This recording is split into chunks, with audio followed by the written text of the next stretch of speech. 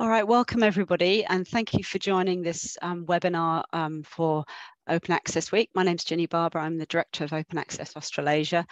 Um, just a few um, housekeeping things as usual. We will be recording this webinar as you'll have seen, and we will be sharing it under a CC BY license on our, on our website later on. Um, please do keep your microphone off and uh, your camera off if you, unless you're one of our panelists, obviously. Um, please keep type your questions into the chat. We're delighted to have a, a lively debate there, and we will, um, Alice will be keeping an eye on those, and we'll be uh, responding to them at the end, and we will aim to finish on time. So um, with that, I'm going to hand over to Alice Motion, who from the University of Sydney, who's also a member of the Management Committee of the Australian Citizen Science Association, which we are really delighted to say was one of our newest affiliate members uh, at Open Access Australasia. So thank you for this, Alice, and I'll hand over to you. Thank you so much, Ginny. Happy Open Access Week, everybody. Um, I'd like to acknowledge the traditional owners of the land that I'm joining you from today. Uh, for me, it's the Gadigal people of the Eora Nation. There is no place in Australia, water, land, or air that has not been known, nurtured, and loved by Aboriginal and Torres Strait Islander people. This always was and always will be Aboriginal land. I'd like to extend an acknowledgement of country to the traditional owners of the places that all of you are joining from today, and if you'll be able to share the traditional owners of the lands that you're on um, in the chat, um, it would be great to see um, some of that as part of our discussion. Um, thank you for joining us. Uh, as Ginny mentioned, uh, we have a, a wonderful session um, ahead and we have some very active hashtags for hashtag OA Week, hashtag Open for Climate Justice. And please uh, feel free to tweet and to, um, to mark your questions with, with these uh, hashtags too. Um, today's session is altogether now citizen science and climate justice, which is of course an incredibly important topic. And we're going to hear from five fantastic speakers as part of this session and have an opportunity for discussion and question and answers at the end of of this um, session. So please do put those questions in the chat and we'll try to keep up with all of you. I'm going to introduce each of our panelists in turn so that you know who's speaking to you. And I'm delighted to say that first up we have Dr. Ely Wallis, um, who's from the Atlas of Living Australia. Dr. Ely Wallis works with the Atlas of Living Australia, where she's the Collections Community Engagement Manager and the team lead for the engagement team. Prior to joining the ALA, Ely worked at Museums Victoria and founded the Biodiversity Heritage Library in Australia. She has a passion for free access and open sharing of data. And we're going to share Ely's Twitter bio in the chat now. Um, over to you, Ely. Um, we're looking forward to hearing from you.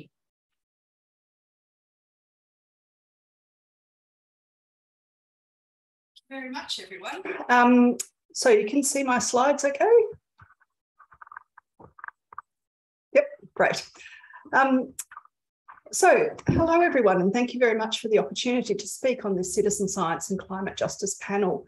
Uh, Alice has already introduced me as uh, I'm Ely Wallis and work at the Atlas of Living Australia.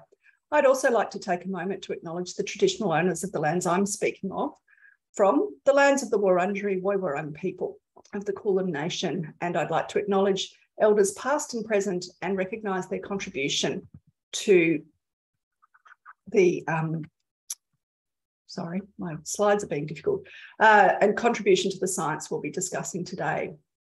So by way of introduction to the ALA, currently the Atlas has over 113 million species occurrence records. So what species was observed, where was it observed, when, and by whom? And 99% of those records are openly licensed for free use. The ALA also openly licenses the underlying code base and shares infrastructure with over 27 countries through the Living Atlases program.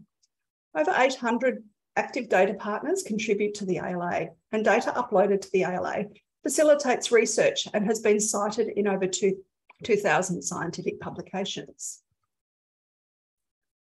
Human observation accounts for about 92 million records in the ALA, these are made by direct observation, such as records uploaded through iNaturalist or through Climate Watch that Anna will be talking about, as well as other citizen science platforms. Records about specimens from museums and herbaria were the original data sets brought together to form the ALA. Currently, about, uh, about 14 million records on the Atlas are from the collections.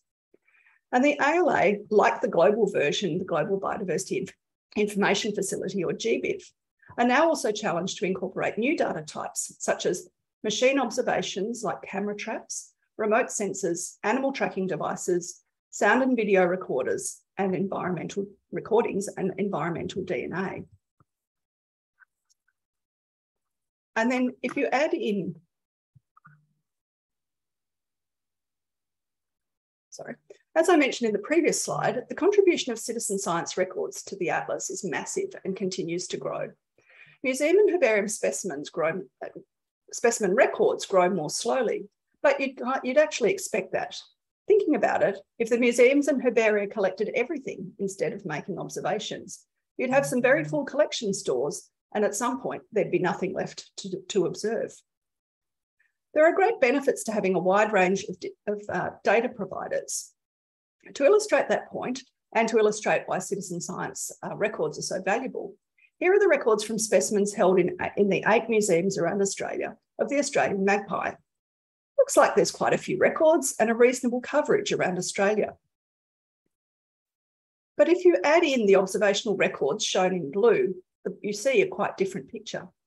And in fact, the Australian magpie is the species for which the Atlas of Living Australia has more records than any other species, with 1.53 million records. And the vast majority of those records are for observations. So you get a much more, much richer picture of where, those, where that species occurs than from museum specimens alone. So citizen science contributes many records, but how can citizens contribute to climate justice? This map shows the extents of the catastrophic 2019 bushfires shown by the blue areas with black boundaries. Flora and fauna suffered massive impacts directly from the fires, habitat loss, and the delay in regeneration afterwards. 119 animal species were identified by experts as having the highest priority for urgent management intervention to help with recovery efforts. Most of these animals had at least 30% of their range burnt, and many had substantially more. This example shown here is for the Gang-gang cockatoo, in the yellow areas, uh, the yellow areas show where this species had been recorded. And you can see that the range of the species overlaps extensively with the blue areas where the bushfires were on the east coast of Australia. But at least birds can fly. On the priority listing are also frogs, snakes, spiders, insects, crayfish, and many other species. And most of those species may only be found in very restricted areas and may not have been so lucky. To investigate how species might be starting to recover from the bushfires, in 2022, ALA worked with colleagues in the University of New South Wales to run three bioblitzes held in fire affected and fire free areas. The Big Bushfire BioBlitz included three weekend events over summer and autumn of this year across the mid north coast of New South Wales with survey, surveys in Crowdy Bay and Dooragan National Parks, the Blue Mountains World Heritage Area, and Murramarang National Park on the south coast of New South Wales. Bush blitzes were chosen as the survey method because they are community events with a focused effort to record as many species as possible in a defined location within a limited period of time. Anyone can participate in a bush blitz, in a bio blitz, and there was great interest and enthusiasm. In all, there were 7,955 observations made across the three bio blitzes. 1,768 species were recorded, with 115 people doing the observations and 479 contributing to the identification. And all these data can now be accessed through the Atlas of Living Australia to contribute to the data sets available for researchers for further, further work into studying how species are recovering from bushfires. We may well do further, further projects, and that's likely because the BioBlitz model is such a good one. And the obvious next candidate, sadly, is to look at regeneration in flood affected areas. So stay tuned because there might be more to come. Thank you. Thank you so much, Ely, for a, a wonderful presentation. Um, I'm sure that that's seeded many questions. Uh, please do add your questions in the chat if you have any for Ely or as you go along. Uh, next up, I'd like to welcome Dr. Anna McCallum, who's from the Climate Watch programme. She's actually the Climate Watch programme manager um, Anna McCallum is a scientist with over 10 years experience in biodiversity research with a focus on the deep sea. As the Climate Watch Programme Manager at Earthwatch Australia, she is passionate about the power of citizens and digital technology to contribute to conservation. Prior to joining Earthwatch, she worked at Museums Victoria, managing websites and digital products to share information on Victorian fauna and geology. And her Twitter handle will be coming up in the chat. Um, over to you, Anna.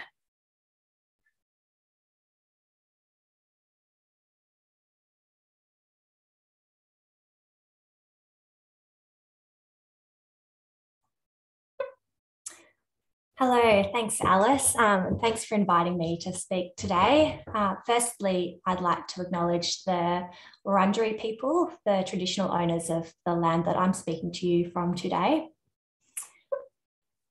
So, um, yeah, I manage the Climate Watch program, uh, and Climate Watch is a citizen science program aimed at um, observing biological responses of plants and animals to climate change. Uh, and it was established back in 2009 by Earthwatch Australia, along with the University of Melbourne and the Bureau of Meteorology. Um, and it was uh, established because it was recognised that there was really a lack of data in Australia and more broadly the Southern Hemisphere on how animals and plants were responding to climate change.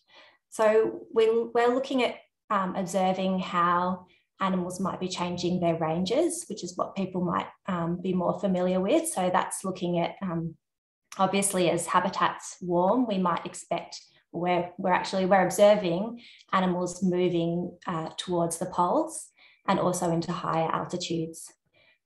The other really important observations that are collected using Climate Watch is um, information on changes in the timing of seasonal behaviours and life cycles, and that's known as phenology.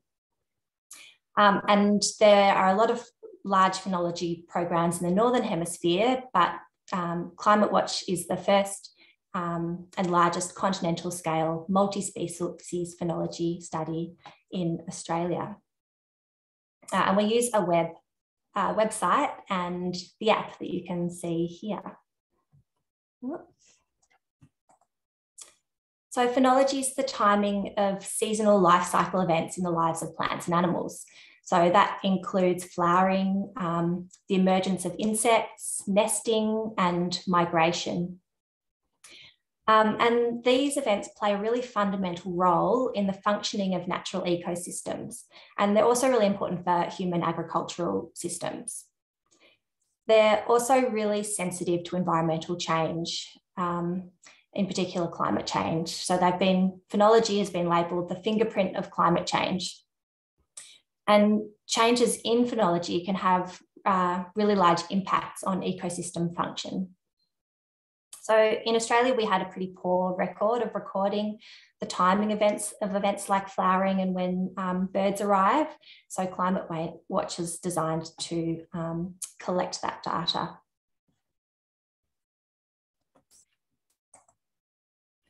So we monitor around 180 species, um, and a lot of those are plants, about 80 plant species. And the species that are monitored have been selected by our science advisory panel.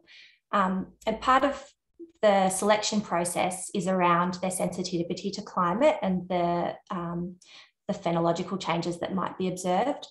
But a lot of species are also chosen because, especially when the, the study was first well, when the program was launched, we really wanted to make it accessible to um, the widest audience and really people without that much experience with um, plant and animal monitoring or science. So there are species like, actually, these are our most commonly observed species over the last two years, but it's sort of representative of the, the program as a whole. So as, as Ely um, showed in her slide, the Australian magpie is our most commonly recorded species, um, followed by jacaranda, the honeybee, and the grass tree. So you can see we also, we don't just monitor native species, we also monitor um, charismatic introduced species in cities, but that's um, that was identified as being useful by the scientific advisory panel. And often they're quite easy for people to identify and connect with in terms of making sure our all the data becomes accessible and useful to research, um, so we have a pretty broad user base. We since 2009 we have 26,000 registered users within the program. Um, and so a really important part is validating the observations that we get.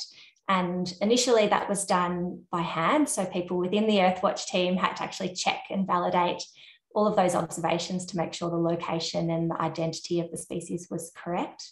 Um, but we've recently introduced a new feature so that our community can um, verify sightings um, similar to the kind of features that you see on iNaturalist. So once they're validated, the data then goes to the Atlas of Living Australia, and we have um, just over 90,000 records listed on the Atlas. Um, and we're also working, there's some broader efforts internationally to try and um, make standards around phenology so that the data from all from some of those northern hemisphere phenology studies can be um, standardized and looked at on aggregate. Um, so we're working alongside them some of the science um, kind of outputs, I guess. Uh, this is a research paper that came out this year and it looks at jacaranda, which is that most commonly, one of the most common plant species.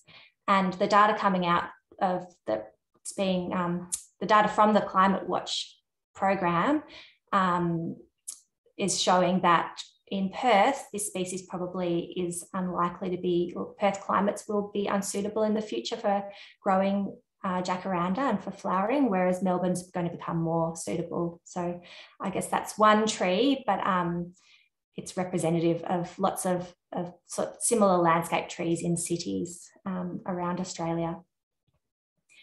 And I guess um, in terms of our broader impact, I think one part of Climate Watch is about um, generating scientific research observations and citizen science. But um, I guess a, a, really important other aspect to it is just increasing knowledge within the community about climate change um, and increasing that scientific understanding.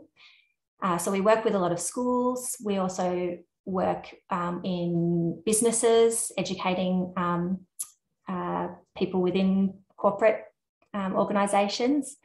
Uh, and the hope is that by connecting people with nature and um, helping them appreciate the biodiversity around them um, and increasing knowledge on climate change that does lead to uh, longer term behaviour change because I think we're obviously at a very critical point at the moment um, where the future of our planet really depends on our actions at this point in time.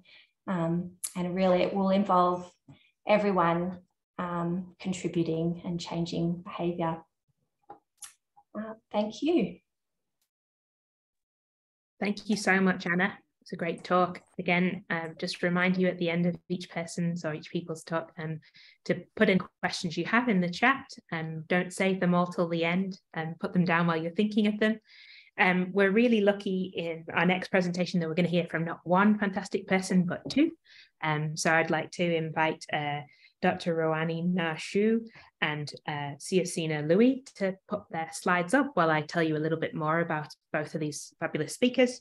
So um, Dr. Shiu is Samoan from the villages of Lefaga and Leone in Samoa and the island, island of Manu'a in American Samoa. Uh, Roannie is a health geographer and a Pacific health researcher who's also worked extensively in Pacific development while at the Australian National University. She's now a director of the University of Auckland Centre for Pacific and Global Health, where she leads and delivers Pacific health research and Pacific health education equity programs in Aotearoa, New Zealand, and the Pacific region. Um, so welcome, uh, Roannie.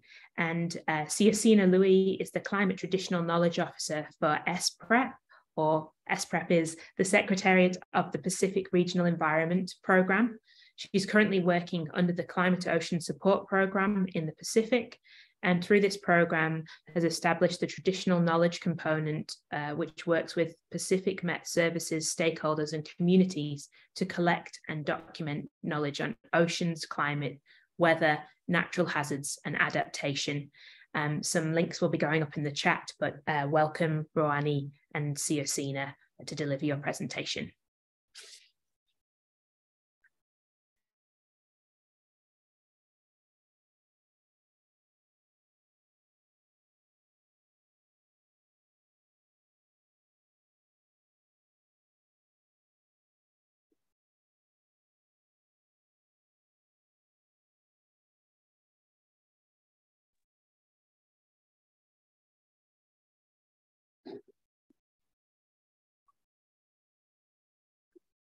Um,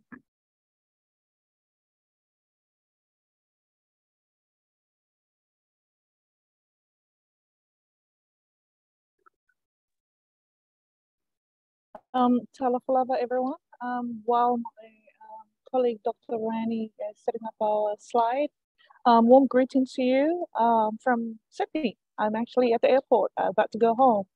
Uh, the work that we'll be presenting today um, is a collection of the work uh, through COSPPac and also uh, various uh, projects uh, from the Pacific. Um, Roannie, are you ready? Yep, can you hear me now? We can, yes. We can hear you, Annie. Perhaps if you swap displays at the moment, we can see your slides in presenter mode. If you just oh. click swap displays and we'll see if we can see the full slide. Um, just next to that one, yeah, we can oh. see yours in presenter mode now. Thank you.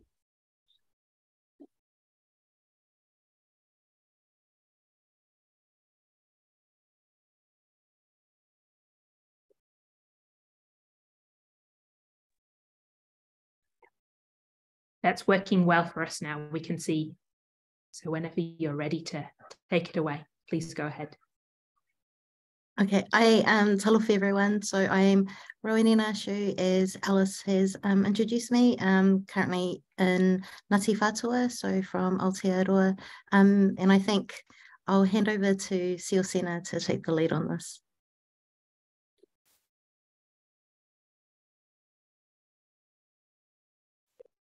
Uh, thank you, uh.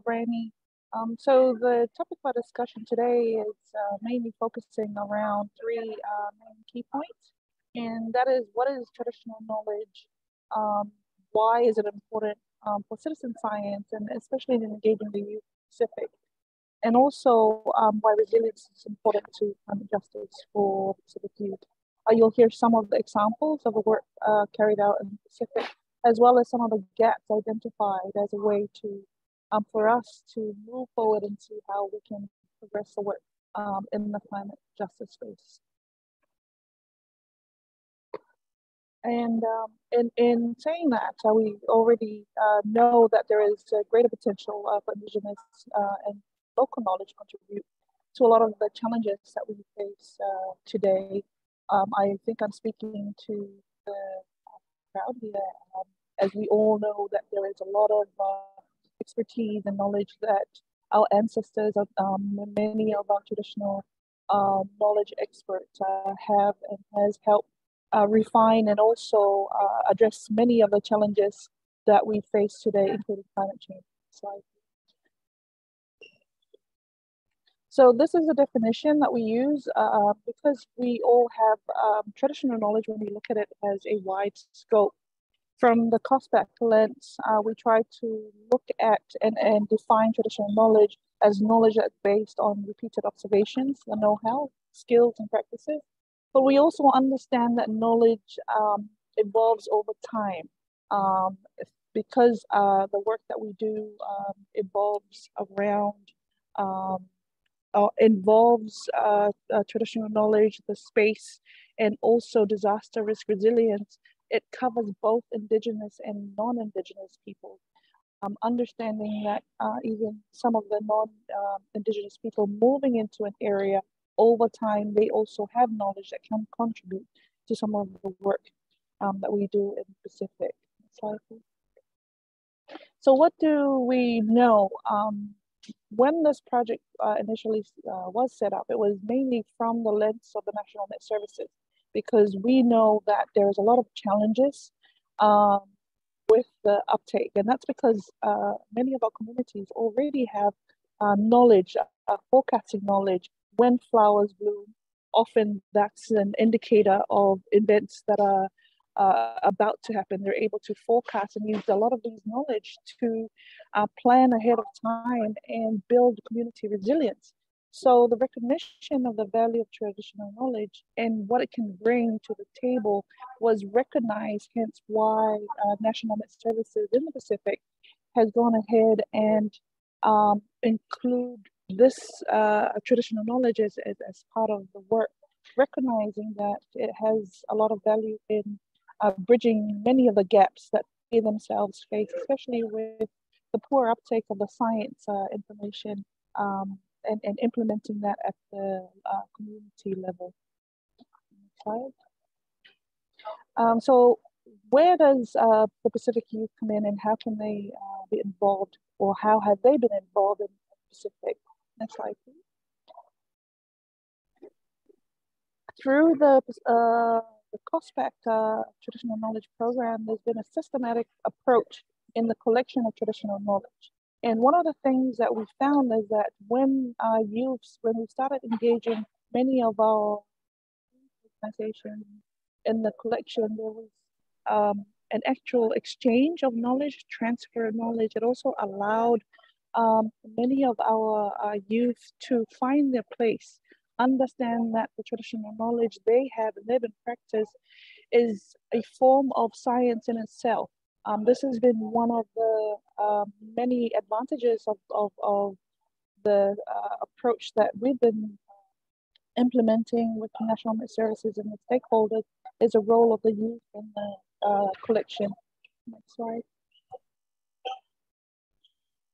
Um, also, um, when we uh, did uh, surveys as well, we found that in many of our communities, in fact, 77% um, of our uh, communities are still very much isolated and therefore use a lot of traditional knowledge.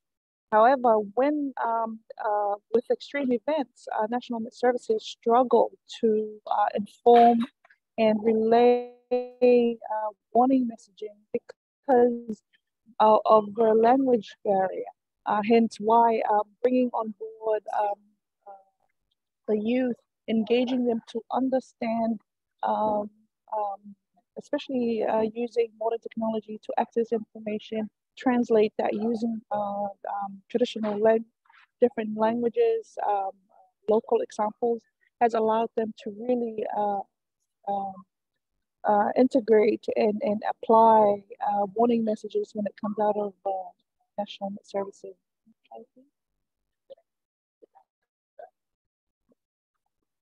So these are some of the examples um, of the work that we've done uh, to date through the collection of uh, traditional knowledge. Um, it has helped with uh, the provision of words. Um, there already are uh, traditional uh, words or um, uh, weather knowledge in our local context. Um, so when we apply um, and, and use our, our, local languages, it actually makes a lot more sense. Uh, and, and here we have uh, examples from Niue, uh, engaging with the youth, has actively engaged and started to draw and learn more about the science, the traditional knowledge, and have gone out to advocate and um, raise a lot of awareness around um, the use of, uh, information to plan and, and help them um, with their uh, activities, especially around food security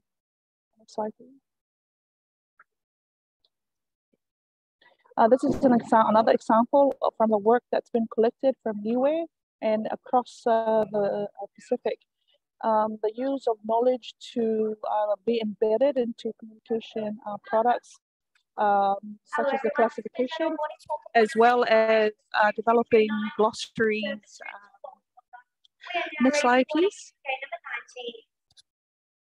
And we have uh, another example here of some of the work and how it's been uh, embedded into early warning systems. Um, uh, many of our, uh, communities struggle with the translation, especially um, when you issue um, uh, warnings and it's in nautical miles. So many of our islanders uh, reference nautical miles does not, the terminology itself doesn't have a direct um, translation in our local languages. Um, and it's a similar, uh, same as uh, wind directions, uh, the compass, um, hence why a lot of the knowledge that's been collected by many of our youth and our stakeholders has gone into help um, informing uh, products that can be used uh, by uh, local communities. And another example of different ways that we've um, develop communication products. And also the last slide, I believe, uh, on some of the examples of where we've extracted uh, some of the information that's already available and engage the youth to help monitor the indicators, um, to help continue to develop and inform many of the communication products already developed and used by communities such as the seasonal calendars. And another example from Solomon Islands and a few other countries in the Pacific. Uh, that's it for me. Over to you, Roannie. Hi, Sena. Um, apologies, I'm a terrible Zoom presenter. Um, but I guess uh, in terms of climate justice, um, Pacific Youth have been very strong in saying nothing about us without us. Um, and at the moment, there is a plethora of Pacific resilience projects that are happening um, in the region uh, that include Pacific Youth. And this is rightly so, considering that half of the population um, within the Pacific region are under the age of 23. So it's important that um, Pacific youth are resilient and empowered to ensure that there's political stability, economic um, sustainability, and also for social justice in the region. Uh, so at the moment, um, together with the Lancet um, Countdown, UCL, and in partnering with SPREP, we're currently undertaking a project in the Pacific region with Pacific youth to understand what does resilience mean to them. Um, what are what is the current evidence, research and projects that are from and within the Pacific, but also how do we best engage youth in not only research but evidence um, based policy, particularly um, in climate related policy. Uh, so in terms of this project, we have just finished our um, environmental scan and are currently doing country level focus groups using Talanoa Pacific Research Method. So Talanoa is a research method that um, privileges the voices of young people. It's uh, participatory. Um, and we're currently in Niue, Cook Islands, Samoa, and New Zealand. And so this uh, project will help us to understand the knowledge gaps in terms of resilience, but also, I think more importantly, from a youth perspective, is to develop best practice when engaging uh, Pacific youth in climate related projects. Um, and I guess that's it from us. Thank you so much, Roannie and Siosina, for that fantastic presentation. Um, it was great to hear from you both. We have our final speaker up next. Um, last but certainly not least, um, we're going to welcome Elise Smith, who works with the Citizen Science Association Aotearoa New Zealand. She comes from Taranaki, where there is a very active community engaged in conservation projects and citizen science. She's chair of the Main Trust and involved with several other societies actively involved in research, developing ideas from remote electronic monitoring and mapping for projects raising from, uh, ranging from catchment microclimates to the Korora Little Penguin Census. And there's some more information about Elise that's just popped into the chat. Um, Elise, I welcome you to um, give your presentation now. Thank you very much, uh, Kia ora. It's a lovely day here in Aotearoa, New Zealand. And I live underneath a very big mountain, a volcano uh, called Mount Taranaki. And this is, this is a, a great um, forum. So I've been very interested and see the associations between some of our projects and those of previous speakers. Uh, the Citizen Science Association in New Zealand is relatively new. In fact, it's only like two months that we've actually been accepting memberships um, officially. So we have we've really set up a platform and an association so we can start tying together the myriad of wonderful projects that exist across New Zealand.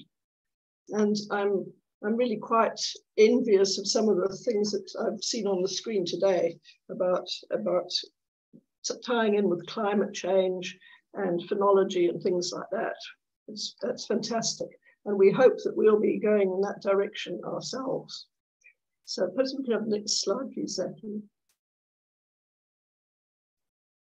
So th these are some of the projects that we have on the Citizen Science Hub at the moment with the with projects ranging from the Marine Meter Squared, which is done and started off down in Dunedin University of Otago, but has spread across the country where we see students encouraged to do intertidal shore surveys.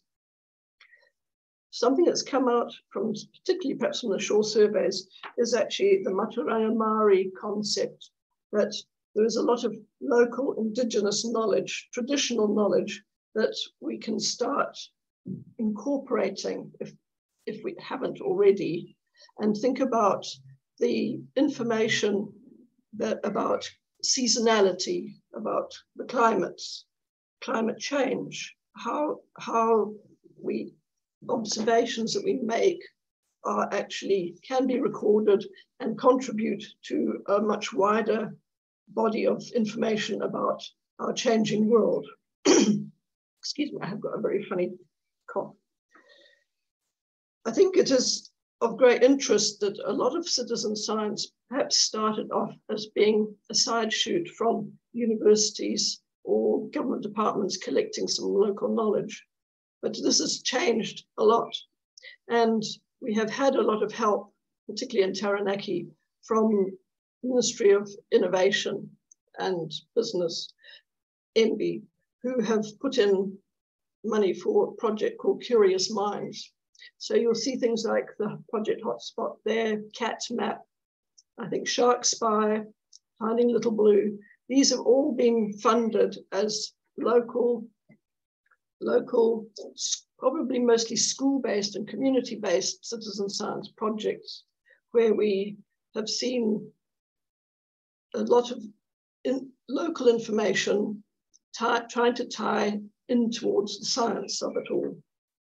Um, perhaps if I can next slide, please. And we'll see, we'll see some of the things that we're striving for. Obviously, collecting data on a community basis, it has to really be worth worthwhile, scientifically robust, make sure that we are actually keeping, keeping to scientific principles. So using open source software and open, trying to achieve open standards has been of great importance. So we have various science, citizen science data collection tools. Of course, iNaturalist has come up already. So that is a really useful tool to make sure that we collect data consistently. Kobo Toolbox, you might have come across, which is widely used in what might call the developing world.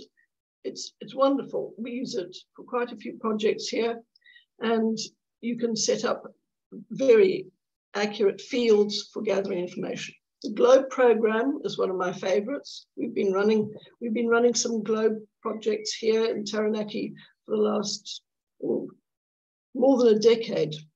We'll see a graph of that later on.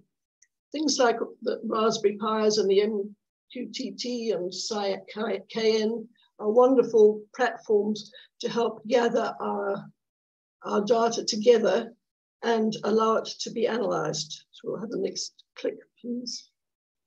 So data management, this is, this is a really interesting and important part of our citizen science platforms. Of course, we like open source software, which is not to say that some of the commercial bodies like ESRI are not trying to now support citizen scientists, and they have they have got a lot of programs running which used uh, ESRI. But obviously here, most of the mapping and data analysis that we do use this, this row of QGIS, GeoServer, PostgreSQL, um, and of course GitHub, which has been bought by Microsoft. Now, thank you, next row. Now, publication and public access is obviously very important. And apart from having individual websites to show what we're doing, we also appreciate getting data from other sources, such as LINZ, Land Information New Zealand, this has been fantastic in the last 10 years, how much more information has come online between LINZ, LIRIS, which talks about land use and, and, and Ministry for um, the Environment and Statistics New Zealand.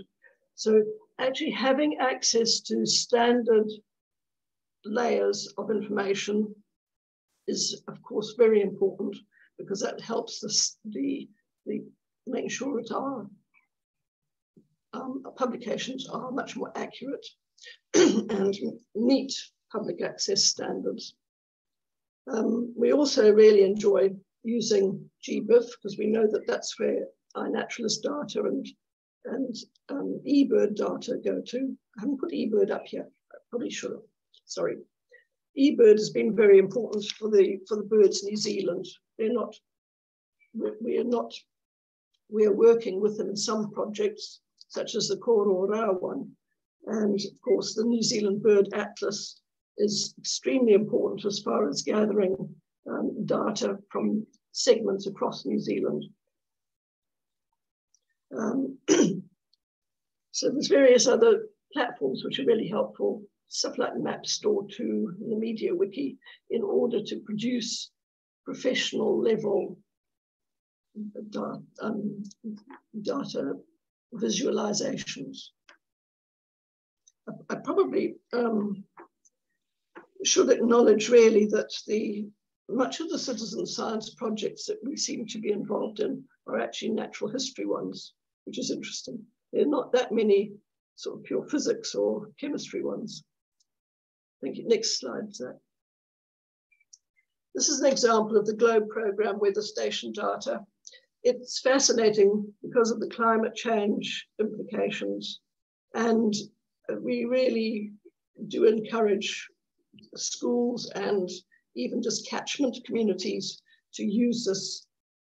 We, the schools kind of can talk to each other, you know, from Finland to Opunake and Taranaki.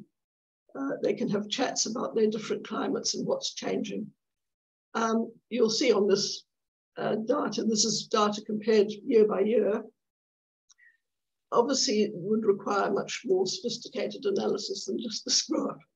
But you'll see on the lower, the lower graph towards the right-hand side, there's a couple of very big spikes. That was this was this last last um, year where we have really been experiencing climate change, huge storm events, droughts. It's been quite difficult for many of the farmers. Uh, it is useful. This is a very rural school that is collecting this information and certainly they will be they will be noticing it firsthand. But thank you. Next slide. So also this data is not is also helpful in deciding what crops you're going to start growing, moving away from the, the, the dairy industry and much more into more sustainable, perhaps tree crops and other things like that. Uh, the, the, the Opunake school data does show quite clearly that in, in the right month, November and October, November, that in fact the minimum maximum temperatures are suitable for Hass avocados to grow. So these are the sort of things that can be extracted from data and, and be very useful for school, schools and growers. Thank you. Next slide.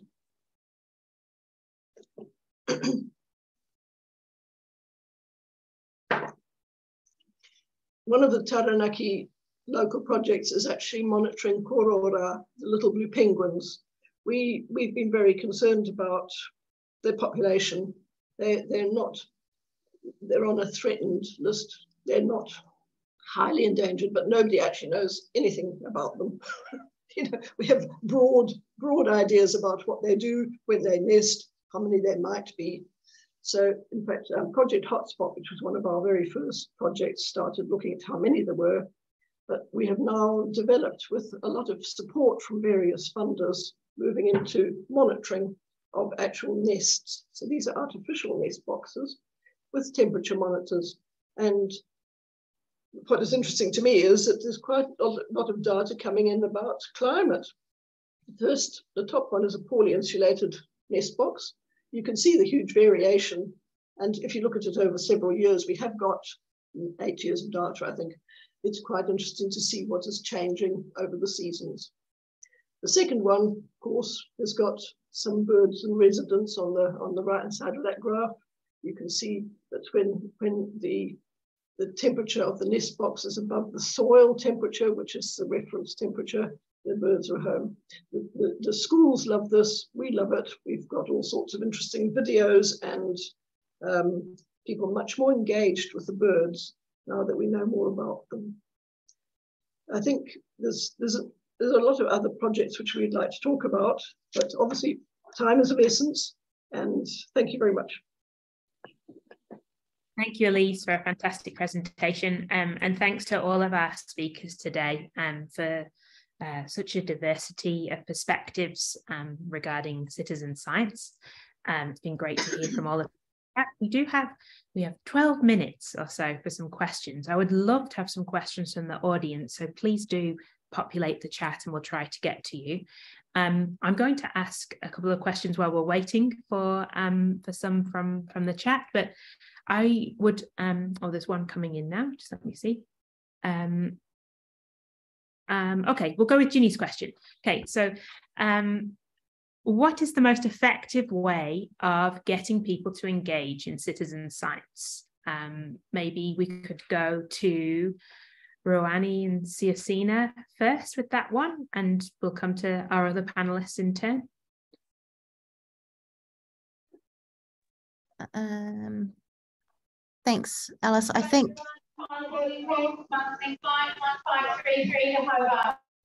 Siosina might have a bit of background noise, so we'll we'll we'll cope with that as we can. But um, thanks, Siosina. Perhaps Roannie, we'll go with that one first. Yeah, so I think um, in terms of the Pacific, um, we don't tend to use the word citizen science, which is why the traditional knowledge um, in kind of uh, indigenous knowledge works well. And I think for a long time, um, we've been in the region been using citizen science anyway, so it hasn't been um, as difficult. But I think um, it's, it's been difficult in terms of trying to get more youth involved in projects. And I think for them, it's just uh, past experience and other projects where their involvement has been quite tokenistic. But um, in terms of science or, or young people, um, I guess it's just different languaging in the way that we approach citizen science in the Pacific. That's kind of um, helped in the work that I know that um, Siosina and Sprep have been involved in. I Hope that answers the question. Thanks, Roannie. Um, I think the language uh, is always very important with these projects, and there's a lot to reflect on there. So thank you for sharing that. Perhaps we'll go to Anna uh, with your perspective. Uh, yeah, I think probably for Climate Watch, uh, a really important way of engaging with people is is just having lots of partnerships. So um, building partnerships with the education sector, so training teachers and providing them with resources so that they can use Climate Watch in their classroom um, has been really helpful. And the same with the universities. We have lots of universities that are engaged. Um, and with uh, parks organisations and local councils are really looking for tools that I think people want to contribute and they want to be involved and do everything they can um, so as much as we can partner with those people that are on the ground, um, like I'm only one person at Earthwatch working on Climate Watch, so I rely on amazing teachers and rangers and um, that whole community to help kind of engage their communities. Yeah. Thanks so much, Anna. We'll go to Ely next and then Elise uh, to take that question, please. Um, from my perspective, I think um, uh, citizen science contributors are often motivated by contributing to real science. Um, so having the idea or perspective that they're doing something worthwhile. Um, I don't think it's difficult to, it's in our, in our experience, it's not difficult to get people involved in citizen science projects. Um, but if you make it a really low barrier to entry, then that's even, even easier. Uh, citizen science in people's local, done in people's local areas, um, so that you don't have to travel very far. Um, uh, and there are many projects that come up, um, for example, uh, land care projects or um, friends of a, a, particular wetland or whatever who are doing excellent citizen science projects. Um, I think using experts to, um, to help uh, people who might not, for example, know what they're looking at um, for, in terms of biodiversity, using, using experts um, to kind of lead walks or um, help people to identify things is really helpful. But also um, projects like iNaturalist are making very active use of new technologies like um, artificial intelligence and marine machine learning so that they can um, kind of make a make a, a, proposal for what they what the system will make a proposal for what uh, what the system thinks you're looking at. So to narrow down to choices. Um, but uh, yeah, I don't think it's hard to get people engaged in citizen science. I think it's it's actually quite easy. Thanks, Ely and Elise. Yes, I agree. I think it is it is quite easy to get people involved in citizen science, especially when they observe things locally, like paua are sort of vanishing. We don't have as many paua as we used to, uh, or crayfish in the rock pools. So when people notice something changing, they do want to join in and participate. And I think that's where the scientists helping them to, you know, set up the set up the right sort of database and the information gathering so that it's easy means uh, means it's so much more successful. I think that think yeah, certainly the AI, artificial intelligence, has been used in a couple of projects here, identifying insects that come underneath cameras, and and also the Shark Spy project, and also some Department of Conservation fish identification projects. So I think the technology is is also inspires people because they can see the, the results. And certainly with our korora, which are GPS, it's been it's been really exciting because we can see how far the birds have swum and how long it took them to find some fish for the chicks that are sitting on the nest waiting for them. So those sort of, it's a bit anthropomorphic, but very successful. Thanks so much, Elise. I think um, um, just in, in sharing that too, this idea of communicating and sharing the data back with uh, citizens, uh, people participating in projects is really important. Um, and as it is Open Access Week, um, I wondered if anyone could share any perspectives on any challenges for citizen science in terms of open access, in terms of the paper where papers where citizen science data is published, um, or perhaps the papers about citizen science um, and whether anyone could share any strategies that your organizations have to make sure that this data um, is freely available for both those who participate and also for people who want to read about the research. Would anyone like to share their perspectives? Please jump in.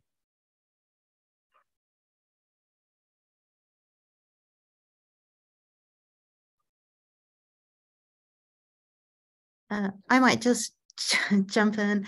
Um, I think one of the um, things that's quite important in the projects that we're doing in the Pacific, and this was demonstrated um, in Niue, is having uh, a comms plan at the very beginning um, when we're working with our community so that we can talk through, um, well, what's the best way in disseminating the information to you, um, and particularly in the region where it's really hard, you know, for data um, subscription. So open access actually um, works really well, but at the same time, um, the different comms products that are available to Pacific people, that's kind of been very helpful in one, not only getting the research out there, but also to um, and applying some of the findings in terms of very real experiences.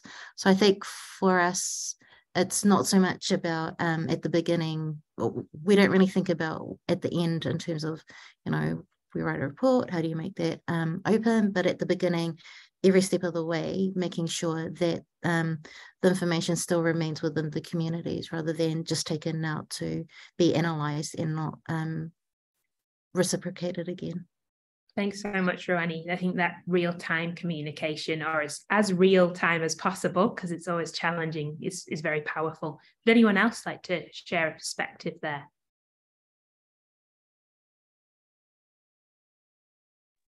Okay, I will move on to a next question. Um, so I think we've got time for one more. There's a question from Jamie um, in the chat. Um, and Jamie would like to know who is using citizen science data well? Um, maybe Ely, can do you have a perspective on people who are using citizen science well, citizen science data well? Excuse is, me. Yeah, um, it's a it's a slightly tricky one. Uh, I have a perspective on on who's uh, who's doing good things with citizen science data, and there's a number of uh, large scale projects uh, who are um, who are making citizen science data more accessible by the project. So one of them is Zooniverse. That's the, the uh, big global um, global project where you can get in and, and contribute to citizen science uh, from your desktop. Um, and there's another couple within Australia. One is uh, one that's um, powered by the Atlas of Living Australia, which is called Digivol. Uh, and that one, uh, so museums, for example, will um, uh, digitize or take images of specimens and the specimen labels um, and uh, then put those up um, into a platform that allows them to be transcribed and citizen scientists come in and transcribe them. Um, BHL, who, which are the Biodiversity Heritage Library, which you heard about um, from Nicole yesterday, uh, also has used um, Digivol as well um, to do things like transcribe field notes, digitized field notes, um, and make them so, so that they can be then made more accessible on another platform.